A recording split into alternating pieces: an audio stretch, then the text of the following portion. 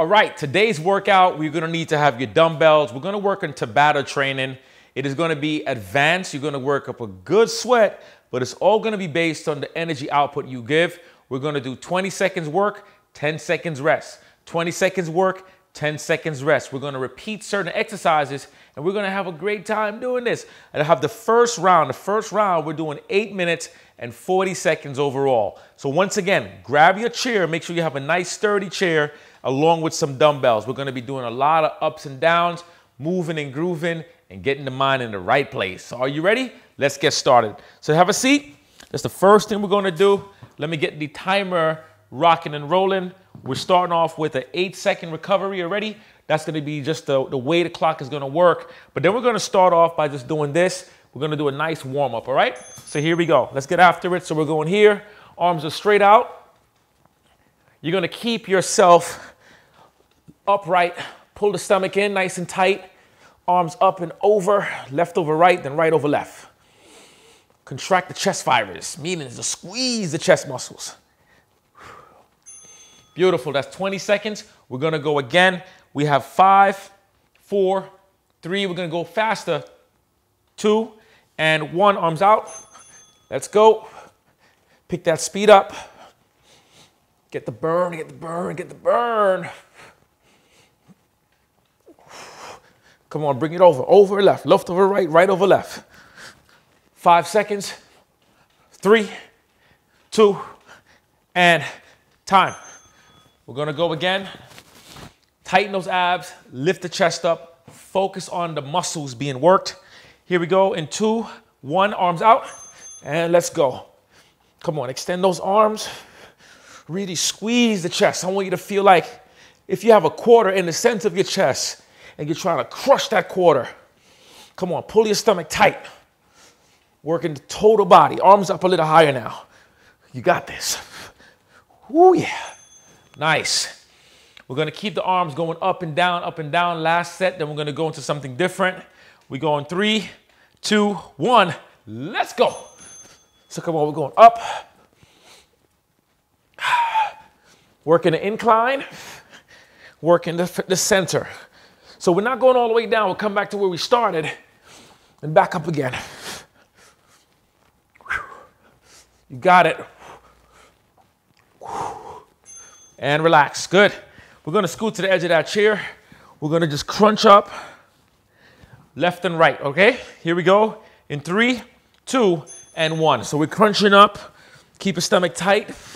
If you wanna go down to the floor to do this, if you can, feel free. That's the more advanced variation of this.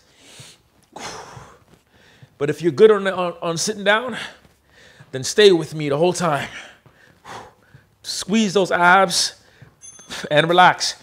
When you're working your abs, remember, you have to crunch in to actually activate the stomach muscles, all right? Let's go in three, two, one. Come on, squeeze. I don't want you to wait for that burn to happen. I want you to be the one to squeeze. And don't pull your neck. Don't pull your neck. I could just come right here to show you. I'm not pulling the neck at all. I could already feel the abs working. Everything is moving the it. Two seconds and relax. You're doing awesome. Woo! You getting warmed up? Because I'm warmed up. Three, two, one, and let's go. Remember, if you find this too easy, you can go faster or you can lift both legs together to advance the move, okay? But right now, I'm gonna keep it here. I don't wanna deplete the muscles too much right now. So make your choice. Three seconds, two, and one. Nice. One more round. How you doing so far? You doing good? Because I'm doing great. Here we go. We go in three, two, one, and let's get it. Another trick as well, as you're crunching, if you want to make it a little bit more advanced, is to keep your back from touching the chair. And you scoot to the edge of the chair a little bit more, which gives you a deeper incline. There we go and relax. Good. So let's get those dumbbells. We're gonna go above the head. Make sure the weights are not too heavy. We're gonna go to Arnold, Arnold presses.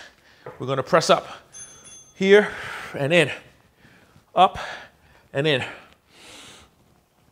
You got this. Come on, stay tight with me. Hang in there. Focus. Inhale and exhale. Every time you come in, you're doing a chest fly to a shoulder press. If you want to go heavier because you want more work, feel free. There you go. And if you want to stand, stand and do the same exact thing. Here we go. In three, two, one. I'm going to scoot to the edge now. I'm not going to have my back supported to the back of that chair right now. I'm going to keep everything tight. Be mindful of what my body's feeling. There you go. Inhale, exhale. Nice, strong breathing. We have five seconds. Oh, yeah. There you go. Five seconds. 10 seconds goes by real fast, doesn't it? We have three seconds left. Here we go. Two. And let's press and chest fly. Come on, stay strong here. Keep your stomach tight, nice and tight. Focus on that mind, baby. Let the mind lead the body. Whoo, yeah. Come on. The stronger the mind gets, the stronger the body gets. Nice, relax. One more round. That's why I'm telling you, get light weights because when you go too heavy, they get, they get heavy really fast. Really fast. All right, last round.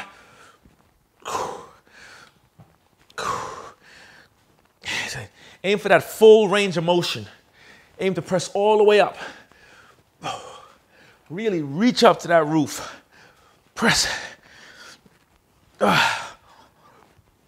Oh yeah, beautiful. Okay, I'm gonna go a little heavier. I have only 10 seconds to change this weight load. And we're gonna go to arm curls, seated arm curls. There you go, the clock went off. To the edge of that chair, left and right, lifting up together. I'm keeping the stomach nice and tight. Everything is engaged. Everything is feeling great. Feel the muscles saying hello to you. Feel the contraction in those biceps. And relax. Now your biceps is right here, okay? Those are your biceps. I love you, babies. We have four seconds. Two, and chest up, stomach tight. I want you to keep your elbows locked to your torso. And I want you to focus on squeezing the biceps. You're pulling the weight up. That's what you're doing. You're gonna pull the weight up. And you're gonna use those muscles to pull it up. There you go. I don't want you to rush too much. I want you to take the time to focus on the muscle. Nice. Round two is done. Take the time to focus on that, on that curl. Okay? When we rush, we miss the opportunity to contract the muscle and get stronger. We want to get that blood to pump. Nice. Try to avoid too much rocking. Try to avoid this if you're doing this, right? That's okay every now and then when the weights get heavy as long as you're keeping your back straight. But right now, I want you to stay nice and controlled. There you go. Nice. Beautiful. One more round. How are you feeling? No, I think we have two more rounds, right? I think we do. It doesn't matter. A little x-ray ain't gonna hurt nobody. That's right, stomach tight. Remember, you wanna stand up and do this? Feel free to stand and do the same thing. You got this. Come on. Squeeze your abs. Don't let your stomach just stay there, relax. Squeeze your stomach. As I told you that, I had to squeeze my stomach. That was a good reminder for myself. We're doing awesome. Let's go one more round. I believe that's, that's we're on the money. If not, that's okay. Here we go. Now we're gonna do a 30 second burnout. Okay, we're adding a 10 second rest, a 10 second addition. Did I say rest? Oh yeah. Let's go. Get that range of motion. Feel everything working, everything is fired up.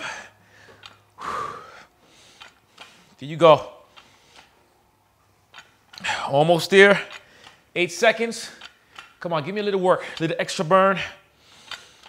Three. And relax. Nice work. Okay, get a little water if you need it. Hydrate. I'm gonna get my water. So hydrate. Don't forget, hydration is the key. Oh boy, I'm still here. I'm just gonna get my water. Mm-hmm. Awesome. So we're gonna hit a little leg work now. We're gonna do a, a standing calf raise. We're gonna get the weights to go heavy. I'm gonna go real heavy on this one because I, I need to build my, my skinny calf muscles. All right, we're going back to the top. First round is done. Make sure your weight is strong, meaning heavy. Don't go light, okay? Keep your chest up, stomach nice and tight. Here we go. I'm gonna stand in front of my chair in two and one. So you're gonna come all the way up.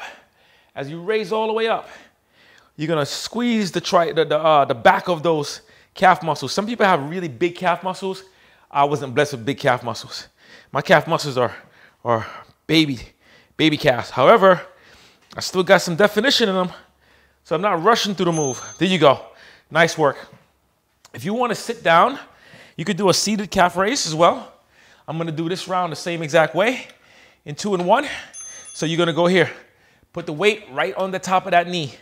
Let the weight weigh those legs down and you're lifting up. Don't worry about speed. Focus on the contraction, on taking your time. There you go.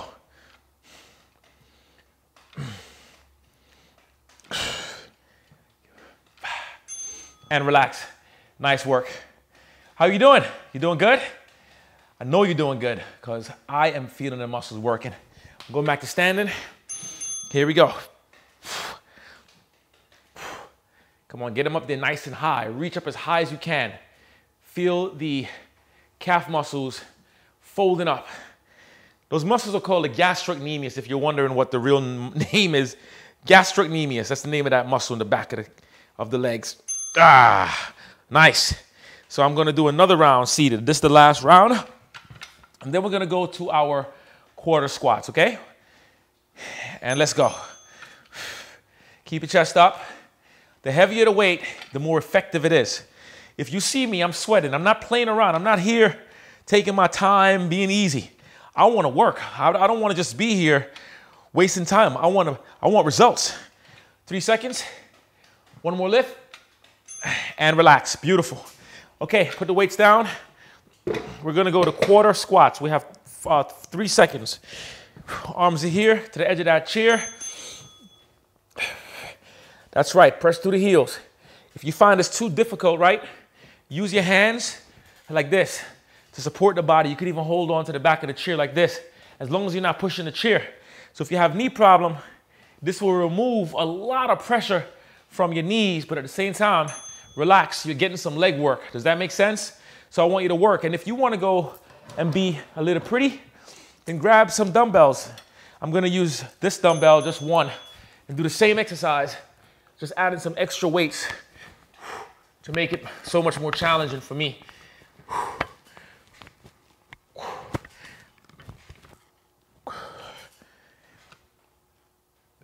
There you go. Nice. That felt good. As the muscles are being challenged, the body is feeling great. And that's what we need. We want to work those muscles, all right? Come on. Here we go.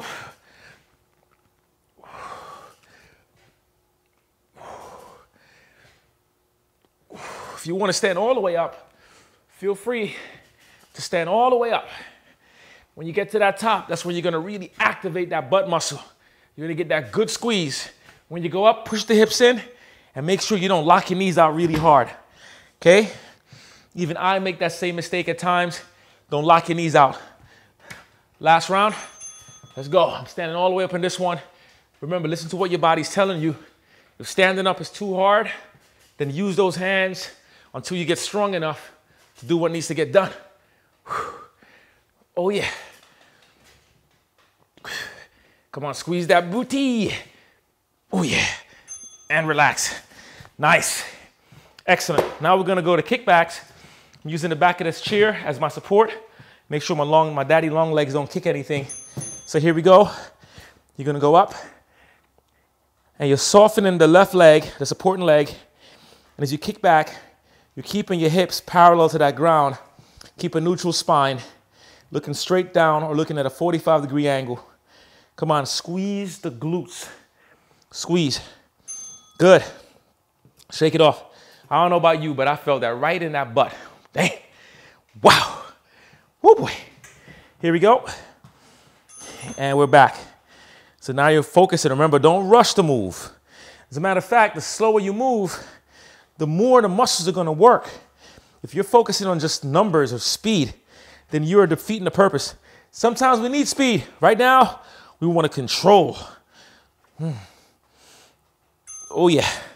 That felt so good. Shake it off, shake it off. And I want you to listen to your body. Make the workout your workout. I don't know what's hurting you what's not hurting you. You have to make the decision of what, what makes sense, what don't. There you go. Come on, tight.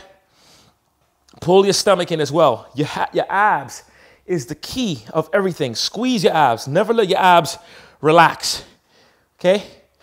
There's certain exercises you cannot tighten the abs, like on a squat, for example, when you're down. When I'm down here in a squat, it's hard to tighten the abs. However, as you stand, your abs are getting tight, it's getting clinched up, okay? You're doing great. Here we go. Let's get it. Squeeze that booty. No lazy butt. You know that lazy, the lazy butt syndrome is an actual real thing, right? Look it up. Okay, let's not get that lazy butt syndrome. Let's keep the booty active. Nice and tight. Good butt muscles. Nice. The stronger that butt, the stronger your overall strength, the stronger your back, the stronger everything. When you have back issues, a lot of times because your butt muscles are not tight enough. Here we go. I've been doing a lot more work on squeezing these booties, okay? The booty, right butt cheek, left butt cheek. Come on, give me some more squeeze. I know you can squeeze harder than that. Come on, squeeze, squeeze. Put your hands on your butt and feel how tight your butt is. Is it tight enough or can you go tighter? Perfect. You could always go tighter. Always, always go tighter. Okay, here we go. We're doing great. And let's get after it. Come on, stomach tight. Exhale as the legs come up. Perfect. Oh my, I could feel that burn right now. That burn. Oh yeah. Wow. We are working, baby. So we're gonna go to step ups. I'm gonna go with the weights, hold the weights in my hand. Here we go. We're tapping up. I'm curling. But remember, taking our time. Keep the core tight. Everything is locked in. And don't go kicking your chair. Lift the leg up high enough to tap that chair. If you can't get up there, then just tap with the foot. You see it? Like that. The clock went off. I love that rest time. You're doing awesome. We're almost done. Your body is working. Hopefully, you're sweating like crazy right now. Here we go.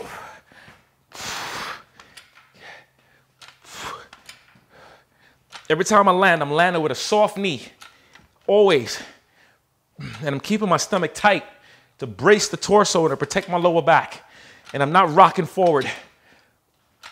All right, when I put the weights down, I bend the legs, push the butt back, keeping the back straight, okay?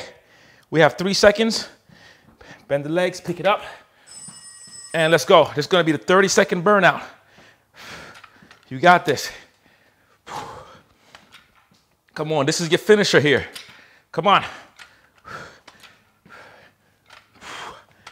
You're doing great. As the weights get really heavy, like mine now, use momentum if you have to, to really swing that baby up. As long as you're not rocking your back and you're keeping your back, your back in a straight alignment, you're good. That's it. Beautiful. Woo. Oh yeah. Wow. Wow. That felt so good. I don't know about you, but I felt really good. I'm almost at my gallon of water for the day, too. How are you doing in your water, by the way? Are you drinking enough water? Are you staying mindful of your hydration? As we're training and we're working out, the body is going to change as long as you're doing what needs to get done. As long as you're eating the right way, as long as you're drinking your water, you're getting your rest, you're staying consistently exercising, whether it's from the chair or wherever you are, as long as you're working out, your body is going to change. But if you're not doing any of that, your body is still going to change, but it's going to go in the opposite direction of where you really want to go. So, like for me, I have goals defined in my mind to get my midsection much more defined now because I'm carrying a lot of water weight here, a lot of fat actually. Man, look at this. I'm carrying a lot of fat. See this? I'm not afraid to show you. Look. See that? So I want to get rid of that because I've been eating a lot more food, increasing a lot more calories So I could put on some weight knowing that I was gonna get this little belly. But now I'm at 208. I'm gonna bring it back down to like about 200, maybe 198 or something like that, and start to define the body again. But one of the most important things to remember is you have to drink the water, all right? I'll see you in the next workout. Leave your comments. Let me know how you are doing. And don't forget, get in the group. I wanna see you in the group. Get in the Facebook group, get in the community, start talking, connecting, use your membership site, get on the membership site, log into that thing and use the workouts because we have a ton of things coming your way. I'll see you later. Peace.